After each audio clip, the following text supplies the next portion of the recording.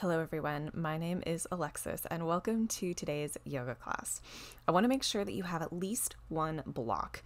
Um, if you don't have a block, grab a shipping box, maybe like an Amazon Prime box or a heavy textbook, something you can have to give you a little bit of a boost when we go through half moon pose later.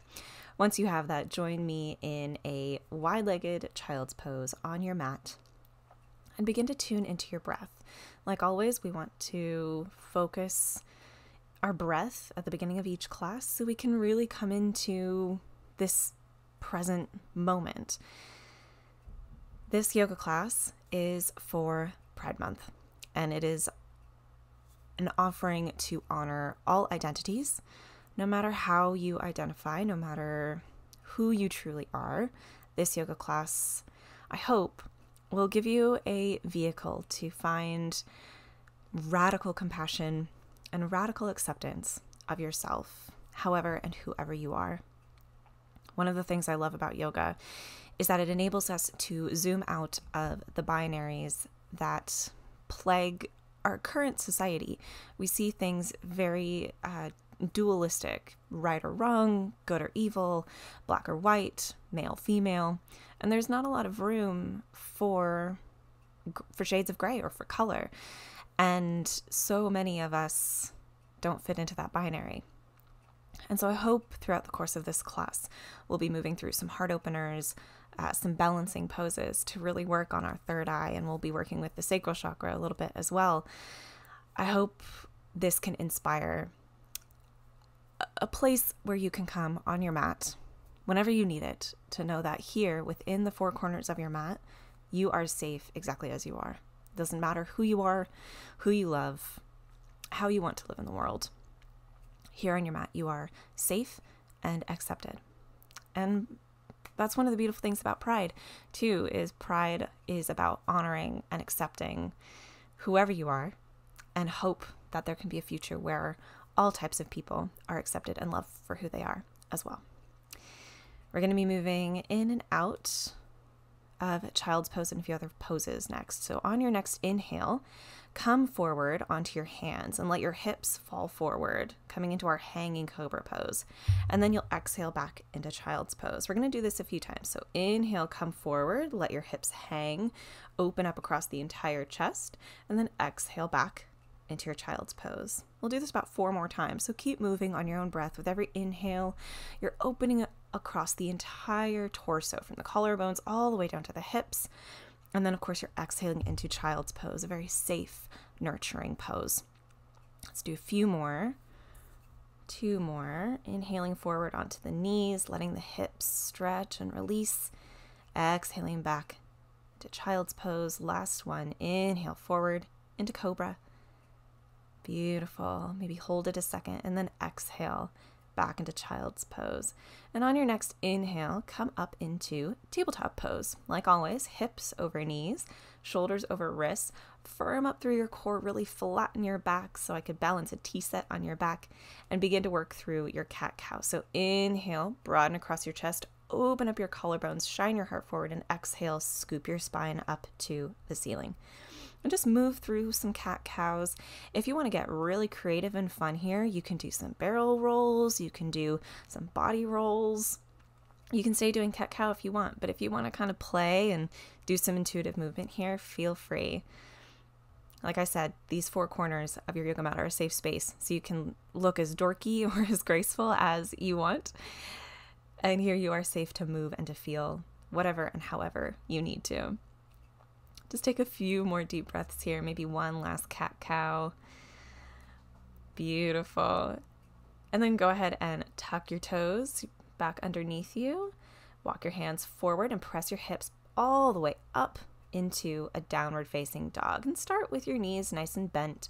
Make sure your sternum is reaching towards the mat. You're pressing through your hands through the knuckles of your first finger and your thumb allowing your ears to rest between your biceps, and then maybe walk out your downward dog, bending one knee, and then the other, still breathing nice and deep.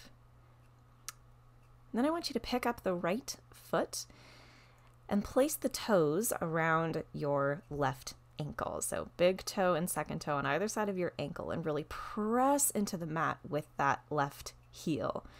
So we're coming into a one legged downward dog to really stretch through the back of the left leg. And continue to breathe here. And then we'll switch to the other side. So right foot comes down to the mat. This time your left toes, your left big toe and second toe, wrap around the right ankle. Really pressing that right heel into the mat. Beautiful. Bring the left foot back to center. Walk out your dog one more time. And on your next inhale, roll forward into upward facing dog. You can keep the toes tucked under, or if you would like to, you can untuck the toes. Either way, keep your core nice and firm. And then exhale back into downward facing dog. Just like our hanging cobras, we're going to move through a few of these. Inhale, come forward into upward facing dog. Exhale, press back into downward facing dog. Just a couple more. We'll do about four more. So, inhaling forward, keeping your core nice and firm, even as you're stretching through your whole torso and the tops of your legs. And then you're using your arms and your shoulders and your core to pull you back into downward facing dog, pressing back into your feet again. Let's go ahead and do one or two more. Exhale back into downward facing dog. Very nice. And then inhale the right leg up to the ceiling. Really reach the toes up to the sky. And then exhale, bring the right foot between the hands. Pivot the left foot and come on up into your warrior two. So make sure, set yourself up for success here. You want to make sure you have heel to arch alignment. So the right heel lines up with the middle of the arch of the left foot. Shoulders over your hips, lift the arms out into a T and look over that right hand towards the front of your mat. And everybody can say hi to my cat, Bernoulli, who's joining us today. Take several deep breaths in your warrior two. Allow yourself to feel powerful here. Inhale and lean back towards the back of the mat for your reverse warrior, stretching your right arm up overhead. Breathing still deeply here. Your legs don't change. You're just stretching towards the back of your mat, getting a nice side stretch. Beautiful. Exhale, come forward. Bring the right elbow to rest on the right thigh for your side angle pose. And if you want to, you can always rest your hand on a block in front of your foot instead. Breathing nice and deeply here in your side angle pose. Again, legs stay the same. We're just moving the torso. Beautiful. Come back into your warrior two. Bring your left hand to your hip. Pop the left foot forward and grab your block. We're going to come into half moon pose. So you want the block to be underneath your shoulder. Your right hand and right foot keep you stable. And then lift the left leg behind you and open up your hips. Flex your left foot quite a lot and open the left arm up to the ceiling. You're basically wanting to create a 90 degree angle with your legs. It's actually a little bit like an open hipped Warrior three, you're trying to open up your hips to the ceiling. You can use that block to really keep you stable. If you're feeling super strong, you can bring your hands to heart center if your balance is really on point today. Take another deep breath in. You're doing amazing. Exhale, let the left foot fall back to the mat, come into a runner's lunge, and step back into plank and make your way to downward facing dog, whether that's you just press back or you move through a vinyasa or you move through lowering down to the mat and cobra. Either way, meet us back in downward facing dog. Walk out your feet just a little bit.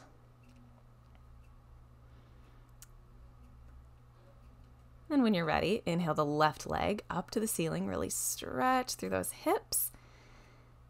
Very nice. And then exhale the left foot between the hands. Pivot the right foot so it's parallel to the short edge of your mat and come up into your warrior two. Again, take note of your heel to arch alignment, bringing your arms out into a T shape to the side. And then keep that front knee, that left knee, directly over the left ankle. I want so much strength in your legs here. You're pressing into the mat and you're also lifting up out of your joints. Feel powerful here. Inhale forward to go back into your reverse warrior, lifting that left arm up over your head. Breathing deeply.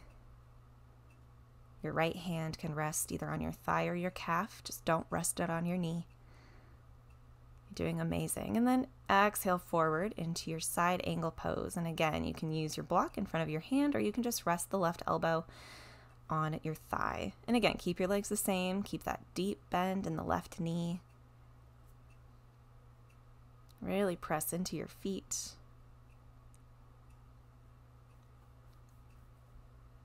Beautiful. Come back up to warrior two. Bring your right hand to your hip.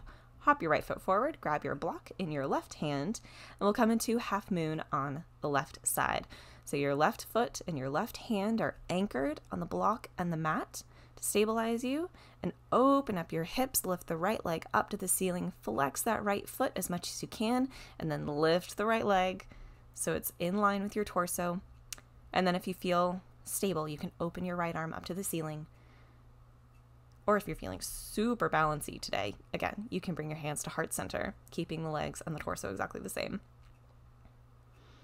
Beautiful. Breathe.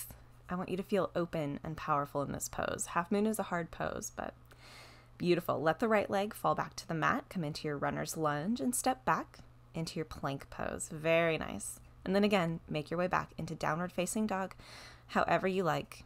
You can challenge yourself, you can be gentle with yourself, whatever you need. When you get back to downward dog, inhale the right leg up to the ceiling and step the right foot forward between the hands, coming into your high lunge. Inhale the arms up overhead. Very nice. Just a few breaths here in your high lunge. Take a deep breath in and exhale. Bring the left arm forward, right arm back for your high twist. Or if you want to go further, you can bring the right hand to reach behind you to your left thigh and lift the left arm up overhead for a deeper twist with a wee bit of a back bend there. And just breathe. Your legs are still in your powerful high lunge. Your right knee is directly over your right ankle.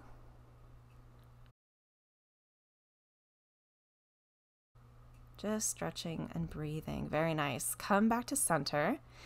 Exhale the hands to your hips. Bend into the left knee. Spring up onto the right foot and extend the left leg out in front of you straight.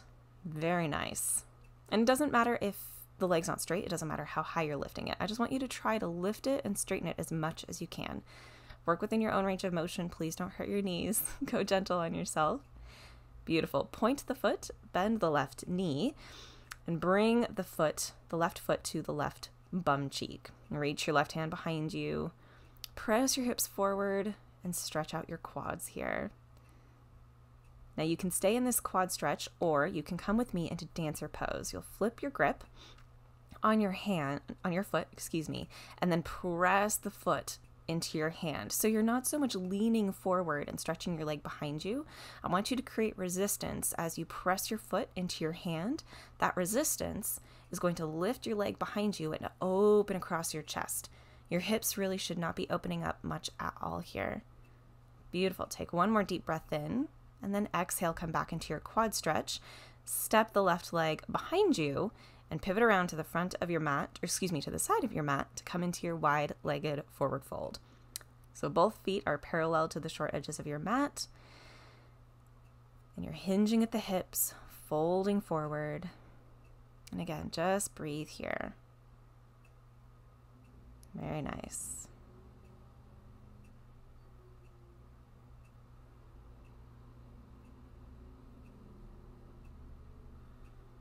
Continuing to inhale and exhale.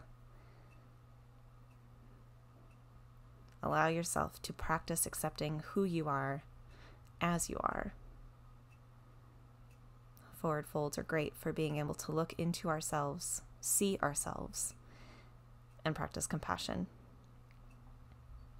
Beautiful. Turn the left toes to the back of the mat and exhale, bend the left knee and come into Skandasana one legged squat.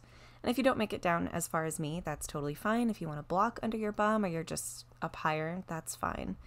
Just breathe here. Focus on the sensation of the stretch in your inner right leg.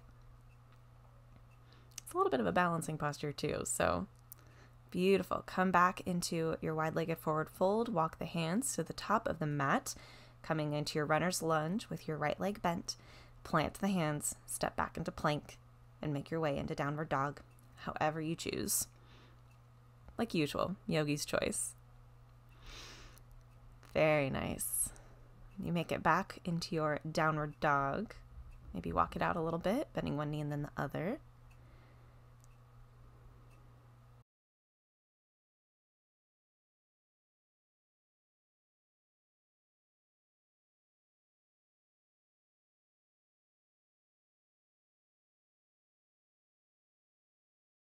Inhale the left leg high and exhale. Plant the left foot between the hands.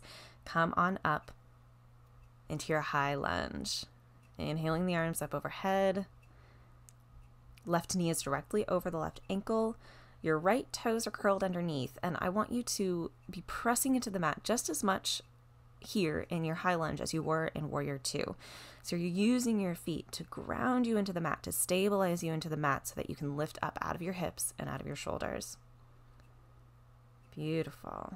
Take another deep breath in, and this time exhale the right arm forward, left arm back, and you can stay in the high twist, or you can reach the left hand behind you to the right thigh, reach the right arm up overhead for a twisted high lunge with a little bit of a back bend. Very nice. Continue to breathe. Maybe smile. You are powerful and graceful, exactly where you need to be. Inhale, come back to center, bring the hands to the hips, spring forward onto the left foot, and extend the right leg out in front of you, trying to straighten it and lift it a little bit higher with every breath. Pick one point to focus on. This is your drishti point. It is a movable, immovable point of focus. This will also help you balance. a few more deep breaths here.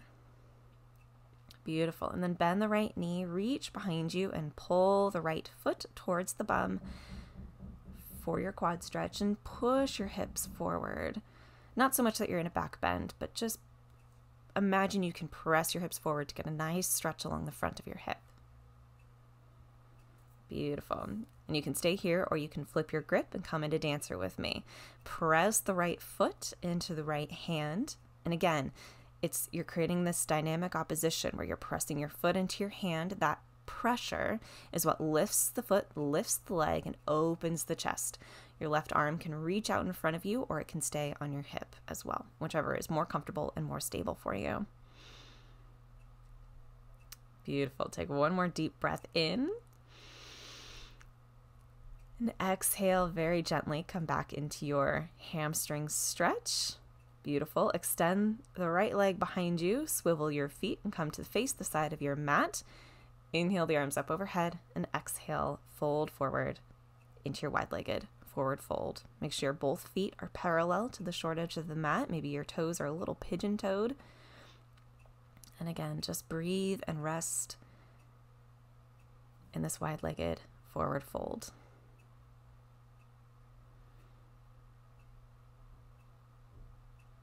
no matter how you identify and no matter what you think of yourself, yoga offers us the tools to be able to accept ourselves and to have pride for who we are. There's beautifully no judgment in yoga. Go ahead and turn the right toes out and bend into the right knee, coming into Skandasana on the other side.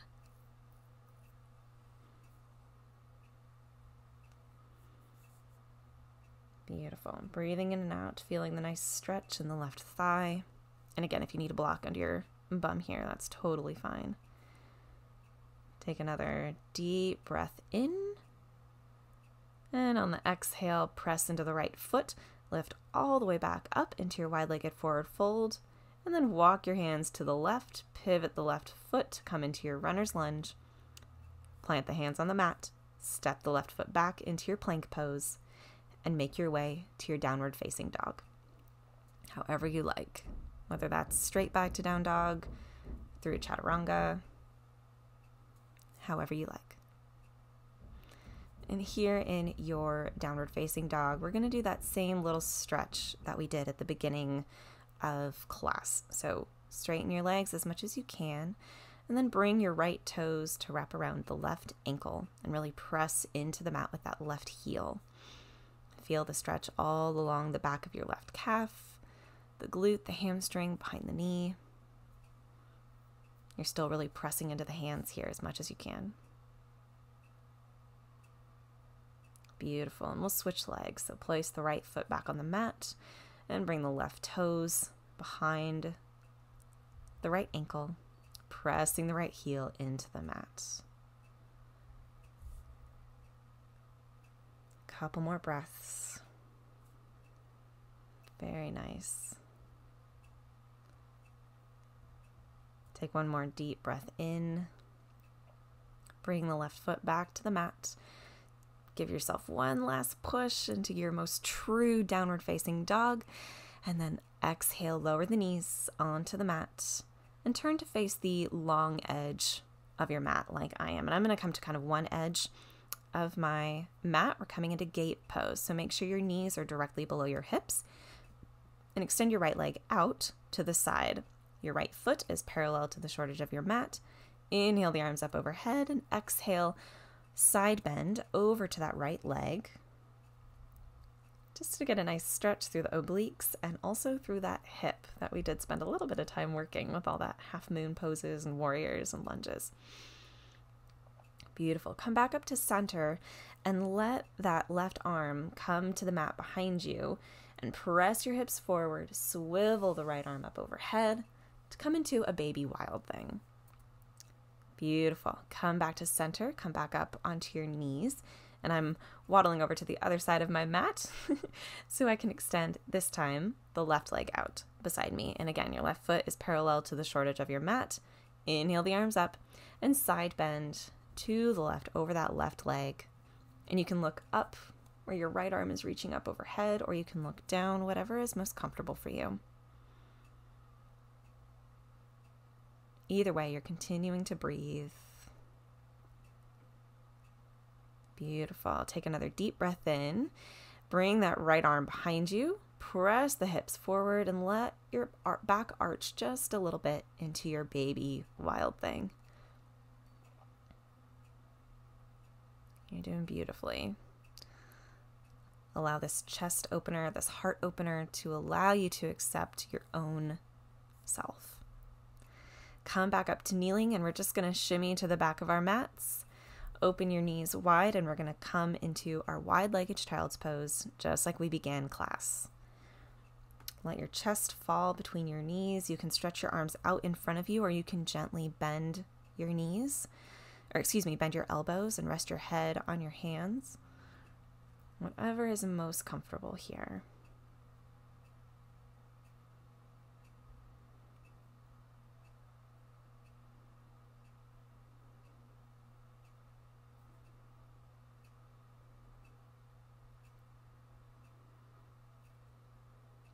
Take a few deep breaths and just center yourself here on the mat.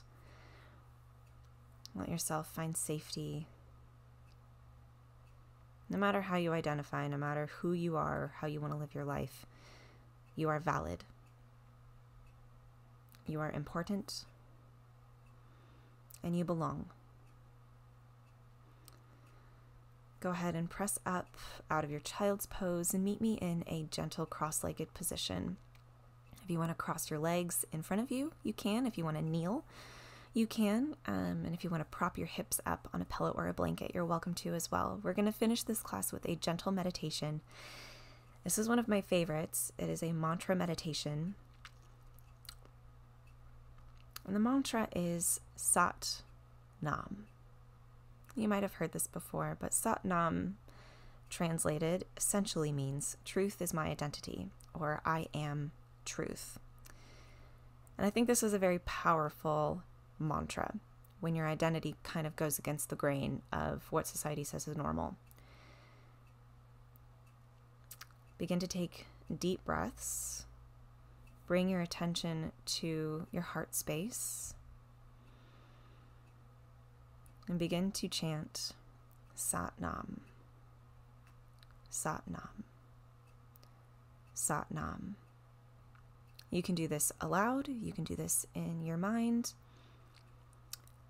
You can just chant it as it is, or if you like, you can inhale and silently or audibly chant Sat, and exhale and silently or audibly chant Nam. Again, yogi's choice, but I want you to chant Sat Nam to yourself and dwell on this idea that whoever you are, however you are, you are true. You are valid.